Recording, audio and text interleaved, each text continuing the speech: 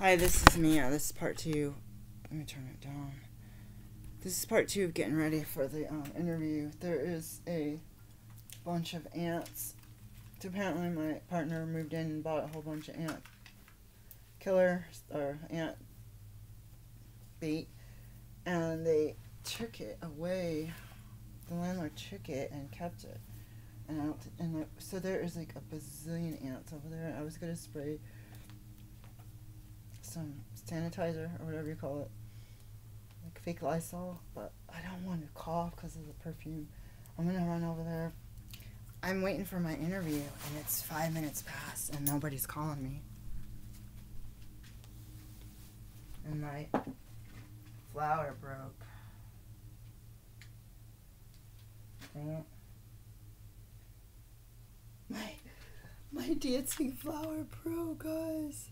It fell on the ground the other day. Oh my gosh. It's all like cracked open. Dang it. How does it even do that anyway? Oh let's just stick it in the sun and see what.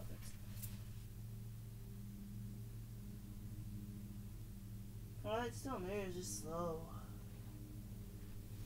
Okay, so I cleaned off Hello?